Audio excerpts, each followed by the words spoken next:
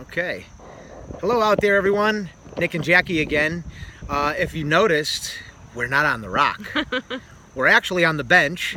We're uh, at Walnut Hill Park in New Britain. We weren't able to videotape earlier this morning, but uh, we know that there's a lot of people out there that enjoy our videos. We get a lot of comments. Um, we get a lot of people even just calling my phone saying, "Hey, I had somebody ask me yesterday, where's the where's the link to your Jacquie and Nick on the Rock?" Oh, that's awesome. Yeah, it's it, it is totally awesome. Um, we've also had people in church actually spreading the word that we're doing, you know, these positive affirmations on God and on Jesus and on you know the the things that were talked about in our um, sermon for the day. Um, but uh, today's subject, I think we're going to talk about um, religion and how a religion is not what is preached in the Bible or the Bible that I read, um, but what's going on is is that if you look at all the different teachings and the different religions, we are all worshiping God. And we fight over these small little aspects Mm, that we really have no business fighting over yeah. That we really should just be loving one another. Yeah. We really should just be trying to understand each other. Yeah. And if you believe that God gave you free will, then you should also believe that your understanding is going to be different than mine, and there's no reason why we should fight over it. We should actually embrace each other Yeah. and say, hey, I really like what you have to say. Do you want to hear what I have to say? Yeah. We, yeah.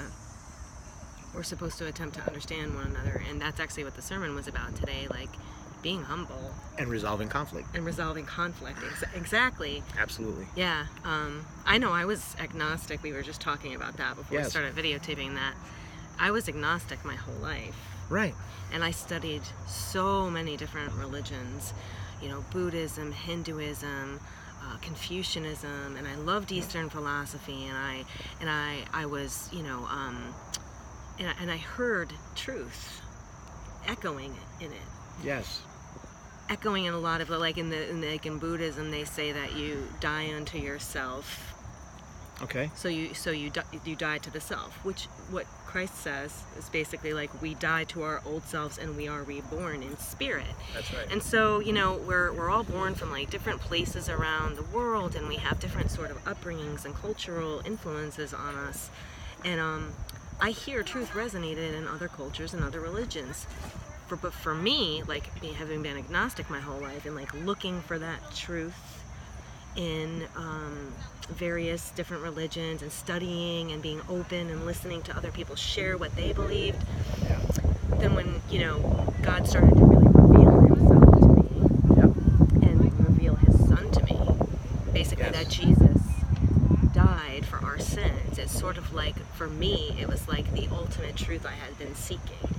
Right. I heard it resonating lots in different like some people talk um, like my girlfriend she was talking and she's kind of agnostic and she doesn't really have a particular belief she was talking about loving each other forgiving each other and i'm like yeah that's scripture Yeah. she was talking about um, you know putting down her ego and i'm like yeah that's scripture Yeah, that's scripture. yeah that's scripture Yeah. you know so it's kind of just like i hear scripture resonating in a different you know way from from other people and that's beautiful you know because we we put god in a box We put him in a box. we put him in a, nobody puts god in a box Put god, is Get God out of the box. i know You got to think outside of the box in order to let God out of the box. yes Right?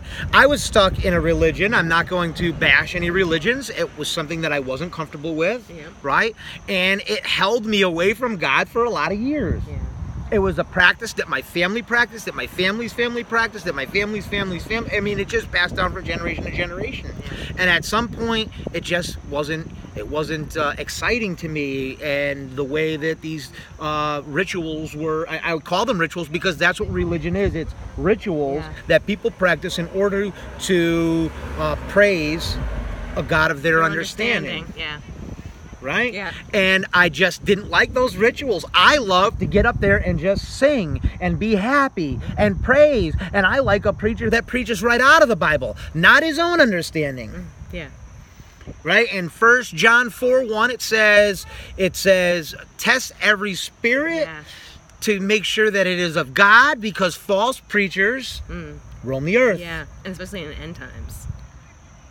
This is what I'm saying. like we're If you're stuck in a religion, if you're stuck and you're just not having the joy, I have joy every time I go to church. yeah, yeah, Church is a fellowship or a community of people. Koinonia is a fellowship of people, of others. We're just doing these videos because we want to be close to you guys.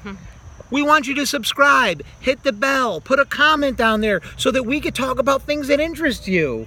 Because your interests are the same as my interests. finding truth. Finding truth, get a And different loving each other. perspective. Yeah. You've got a male and a female perspective, right? You've got you've got two people that love the Lord, Mm. and we're trying to help others love the Lord. I, I- don't know. Maybe that's maybe that's wrong. Maybe I'm not trying to help. I'm just showing you that I really love God, and you could have this joy for God like I do. And God loves us. it can't be. It can't be something that's not fun to do. They say to fear God. Yes, the fear of God should bring you joy. I'm not going to do that because God isn't going to approve. Not that He's going to strike you dead. Not that He's going to do this or that. Not that He's going to take your house away. Just knowing that, hey, you know, some things aren't proper and let's not do them. That's Right. the fear of God. Yeah. That's not anything that, you know, that God's got a lightning bolt and He's going to do. No, that's not what that's about. No, it's about I think for me it's like loving him so much that I want I want to do right by him because he loves me so much. Yes. shown me time and time again. And so it's just a matter of like I, I understand, Lord, your way is the best. Yes. Your way is the best way.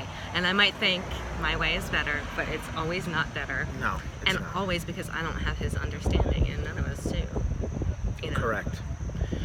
So we, this is just some things that we wanted to talk to you about today. So we were asking you first of all to subscribe, and then I was just told that if you hit that little bell, right, it will ring every time we put up a new video, and then you'll be able to come back to the channel Oh. and know when we have new content. Oh, I didn't know. So that's awesome.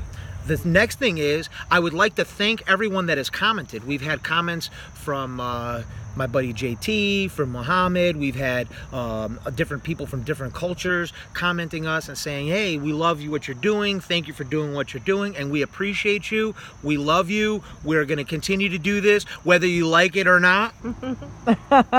right? No pun intended.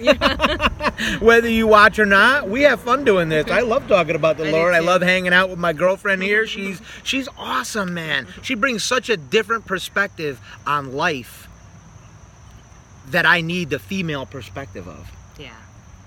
Sometimes I'm struggling with like a, maybe a relationship or maybe uh, you know me wanting to be in a relationship or whatever, and I can just call up Jacquie and be like, I'm struggling with this, and you have the answers.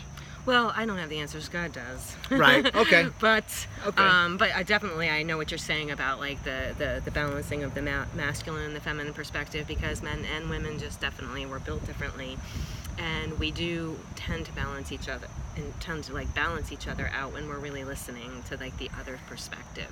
Right. So yeah, I do really appreciate that that um you know masculine perspective when I need it Right. very much so Absolutely. and love to give the feminine perspective when it's needed from a man Right. you know.